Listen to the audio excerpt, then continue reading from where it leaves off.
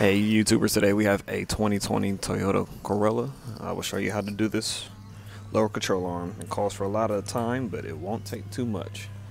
So, starting out what I did was go ahead and replace or take out the lower ball joint. It comes separately from the lower control arm. Um, secondly, I went ahead and took the sway bar link out the strut.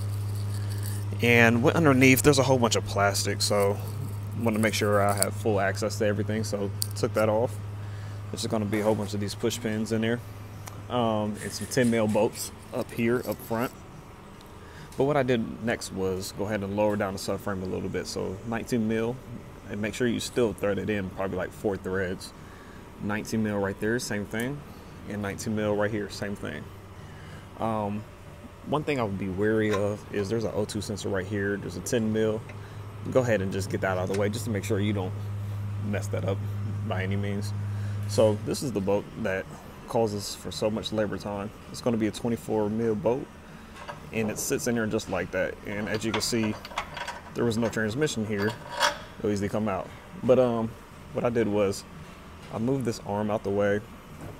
It's uh, I think some 13 mil bolts right here, right here, just easier access. But as soon as you do that, what you can do is grab a pry bar. This is my Harbor Freight pry bar. And just pry down and then you'll have all the access right here that you need to get that bolt out. And at that point, I just grabbed a 24 mil socket, put it on a wobble and half inch came straight out. So took that out.